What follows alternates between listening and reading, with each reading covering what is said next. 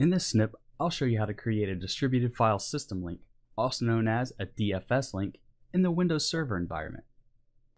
If after launching the DFS Management Console, you have no namespaces displayed to you, like we currently do here, we can add available namespaces by right-clicking on namespaces, choosing Add Namespaces to Display. This pop-up will show us all the currently available namespaces in the domain tech.io. I'm going to choose all the available namespaces and then click OK. I know that the new DFS link that I want to create is going to go into the app root namespace. To create this DFS link, I'm going to right click on app root, choose new folder, and then in the name box, I'm going to give the name that will be displayed to all the users.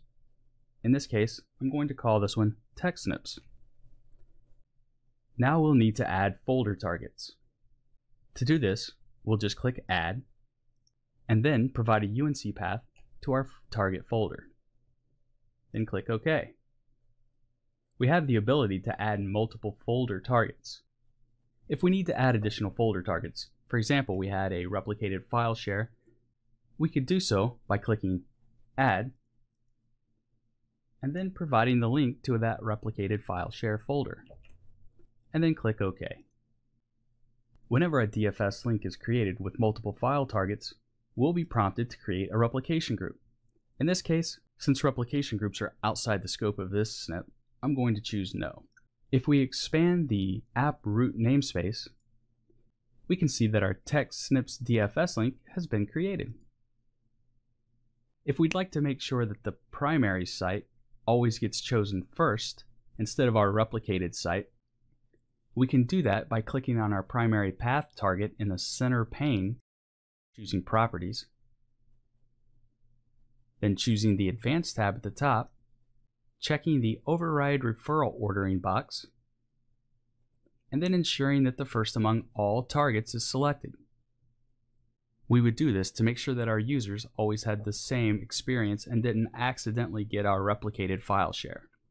To test that our new DFS link works, we'll just need to launch File Explorer and then type in the path to our DFS link. We can see that our DFS link worked because we ended up in the right folder. If at some point we're required to decommission a DFS link, we can do so in multiple ways. The first of which would be to right click on the DFS link in the left pane and then choose delete.